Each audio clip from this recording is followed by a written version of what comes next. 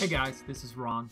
So in this uh, video, uh, as a part of our uh, Rediscovering C series, this is video two, and we're going to talk about the uh, compilation process as well as using compiler flags, uh, and then we'll finish off with makefiles.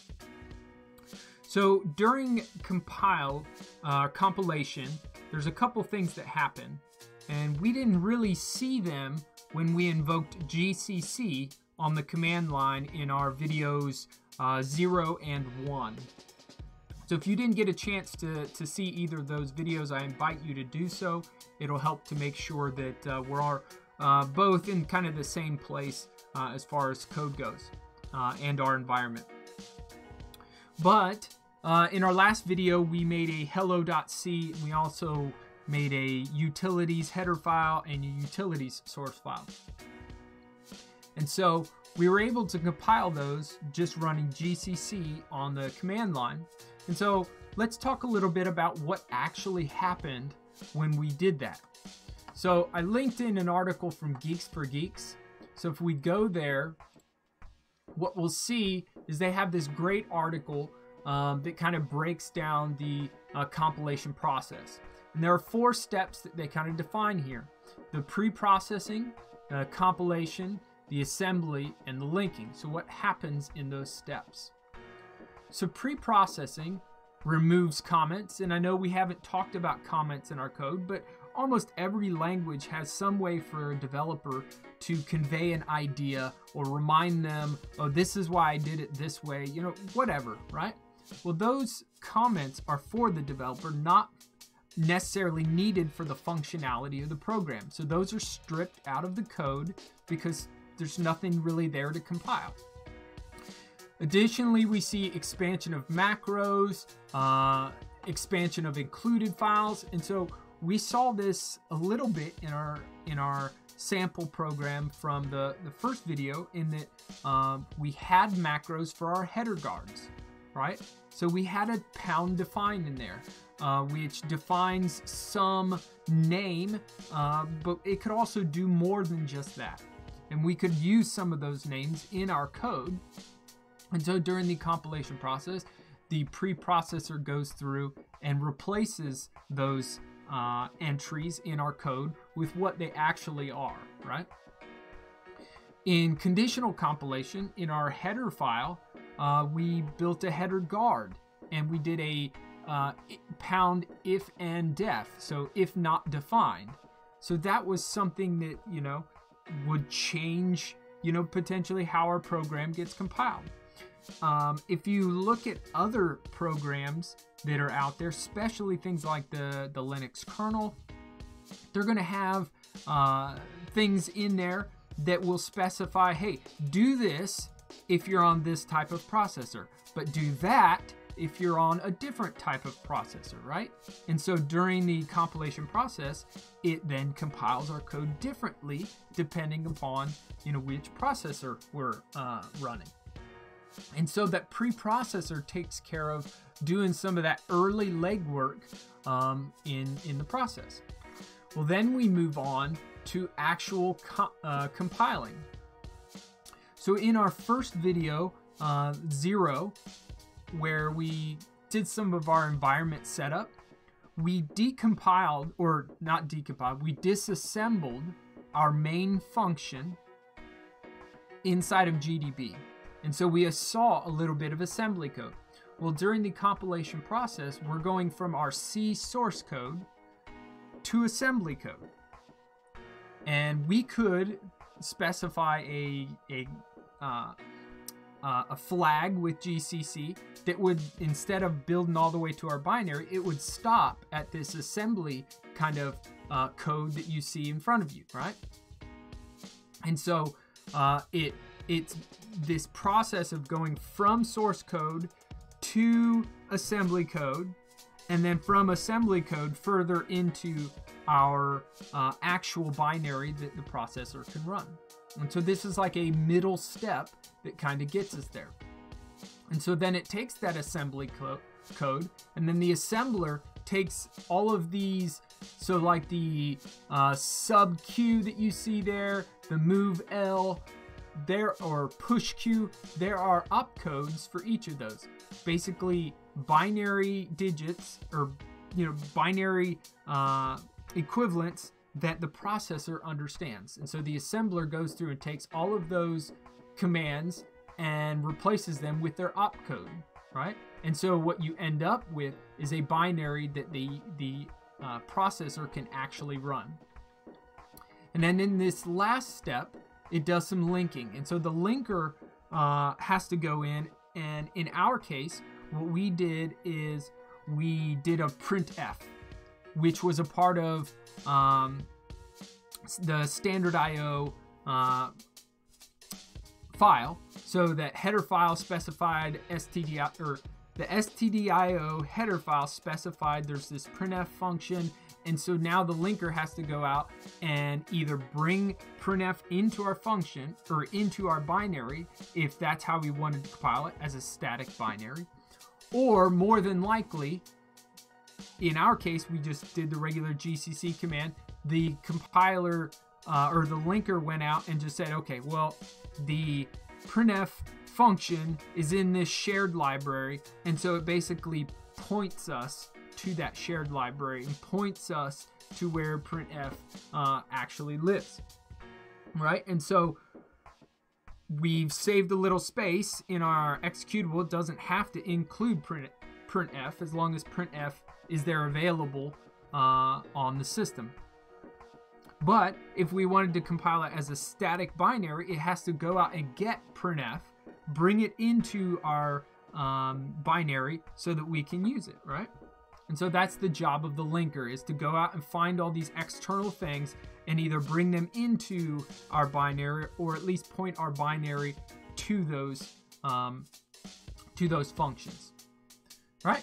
So that's compilation, and the, and the reason I bring that up is because as we're going through and we're having to troubleshoot some of our issues, things like the linker sometimes glare their head, right? And so uh, there will be times where I'll use a math function um, or I'll use a a function inside the threading library that um, I'm going to have to specifically tell the linker where to go and get it because it's not technically uh, a part of the standard library. So I have to tell the linker, you know, where to go to get this code. Additionally, um, there are compiler flags that we may want to concern ourselves with. So we've used the GCC um, compiler to, to do these various things for us, but it gets tiring um, having to type in GCC, tech O, um, hello, hello dot C, uh, utility.c and utility utility.h to compile every time. So that's kind of a pain in the butt. Plus, there's there's some extra things we could be doing to check our program for um, errors. So we don't have any syntax errors necessarily in our program, so it compiles just fine. But that doesn't necessarily mean that we have done all the proper things and our binary is, is good to go. So obviously it runs. But again, there could be some things in there that, you know, have some issues. Well, one of the things we can do is turn on some uh, warning flags to, to kind of key ourselves into whether or not that's an issue. So if we do a man on GCC, so we're looking in the manual page for GCC, we can do a slash warning, and we'll see all of these warning options, right? So there's tons of them here. And if we go, I linked in another article um, that's GNU.org that breaks down a lot of these errors. So it has you know, write ups on what these various errors are for, what they'll key in on, so on and so forth. And like I said, you can clearly see there are a ton of them. Now, I probably don't need every single one of them, but there are a couple of key ones that I, I typically like to include every time. So if I hit my up arrow, I'll go back to my GCC uh, command that I ran before, and I'll put a couple of them in there. So I typically do uh, W all, I typically do W extra, and I typically do pedantic. And so what we'll see when we compile it with these warning flags, that now we we actually see there's there's an underlying issue in our program. It doesn't break functionality, but it might key us into we made a mistake somewhere along the way. In our case, the only thing it's keying us in on is when we wrote hello.c in our previous uh, video that we said the main function takes this int argc and this char star star argv, but we didn't actually use them for anything, right? And so that might be an indication that we have had some type of, of mishap in our program that we've had to um, go ahead and we've like I said, we've missed something, and maybe that's an indication that we need to go back and take a look at it, right? Uh, so these compiler flags are, are helping us to hopefully avoid shooting ourselves in the foot later on in life, right? Um, so we could fix that in, in this program and try to clean it up. In this case, I'm not going to do that. I want you to see that if you run these commands that you see the same errors as I do. Now, again, just like before with the GCC, taco, blah, blah, blah, now we have even more stuff on the command line that we have to remember to type each and every time. Well, that may put us into a point where I get lazy or I'm rushing and I miss something. I don't turn on a flag I should have. I don't want to put myself in that position. So instead, there's something called a makefile. And I've linked in another article also on gnu.org that helps us to build consistent uh, compilation and cleanup. So if I come here, I'll see that there's this thing called make and make files. So if I look at my simple make file here, what I'll see is I have this file uh, called makefile. And in it, I'm kind of specifying what that you know compilation process should look like. So in this case, this is a target. These are source files for that target. And then this is the command that gets run to build that target, right? Now, in this case, this is a very simple um, uh, make file you can get very complex make files that do all sorts of different things. Uh, in my opinion, at the very beginning, just stick with the simple make file. Um, it's just easier. Um, but later on, you may want to do some cool wazoo whiz bang stuff, and make can definitely do it. But the point here is that I have a target, I have source files that, that are required for that target, and then I have the command that I'm going to run to build. Now, notice here we have a main.o. So this is an object file. It's like an intermediary file that, that got compiled, but we're not fully to our, um, to our executable. But this is exactly what we want is so edit requires main.o.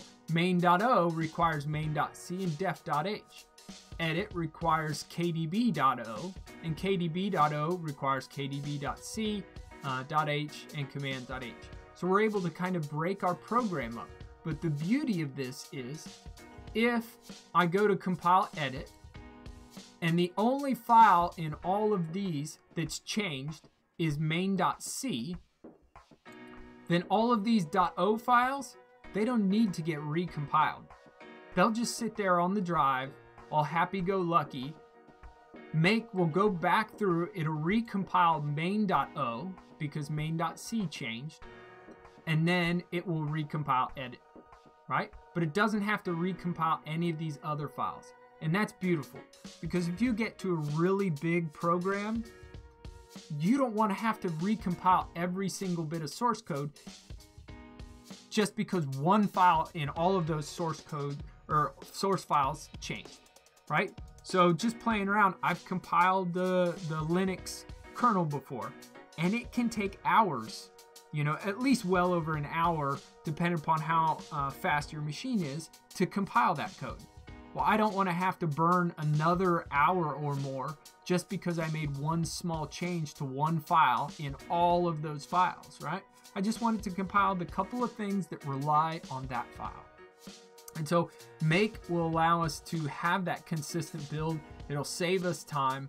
Um, and so I recommend running GCC from the command line is great when you're you know, initially getting started. But if you're going to start building an actual project, move to something like Make, right? Now, there are other things besides Make that you can use. This happens to be what I'm used to, um, and so it's what I will uh, demonstrate.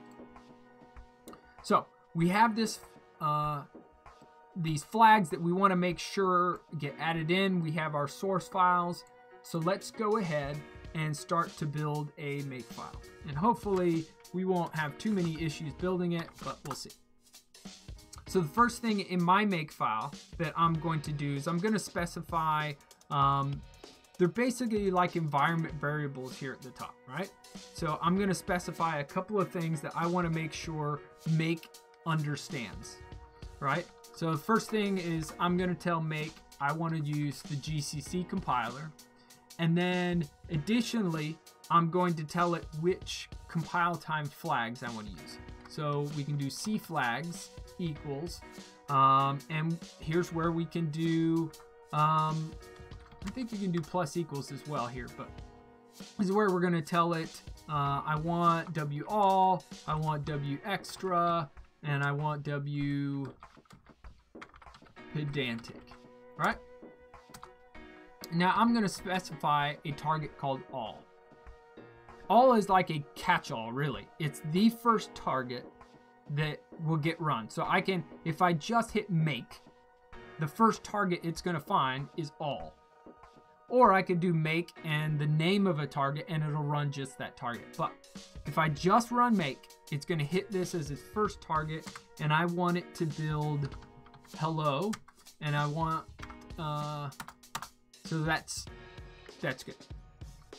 And so I have to have a target called hello and hello relies on hello.c and it's going to rely on, we'll call this utility.o. And if we get lucky, we can just specify utility.o and we're going to specify utility.h and utility.c. Now notice here, I'm not actually telling it what command to run. And that's one of the beauties of uh, Make as well, uh, is I gave it some uh, basic uh, input with these uh, variables here, and it's just going to go ahead and build those for me using those variables. Now I can specify it, but again, we're gonna we're gonna give it a try without specifying. And then I'll do a final target here called clean. And one of the things with make files is you actually want an actual tab. So if you have an editor that replaces tabs with spaces, which I fi find myself in quite a bit because if I'm writing Python code and I hit tab, I actually want it to replace this, it, the tab with spaces. But in this case, the makefile actually needs a tab, not spaces. Um, and so I'm just going to do an rm.rf star.o because my hope is this utility uh, portion builds utility.o. And so I'm going to delete all of my .o files and I'm going to delete my binary hello. Okay. Now, if we've done everything right, I'm going to do a set list just so that we can see when I do a set list from Vim, it shows me a little bit of extra information. So this control I is my tab if it had replaced it with spaces, I would it I wouldn't see that. And so again, that's one way to kind of double check, at least within inside of Vim, that you have spaces, not tabs, or you have tabs, not spaces.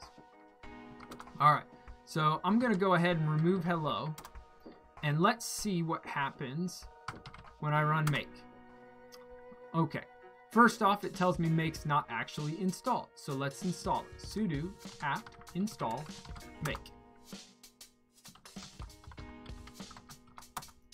All right, so it went ahead and it is installing make.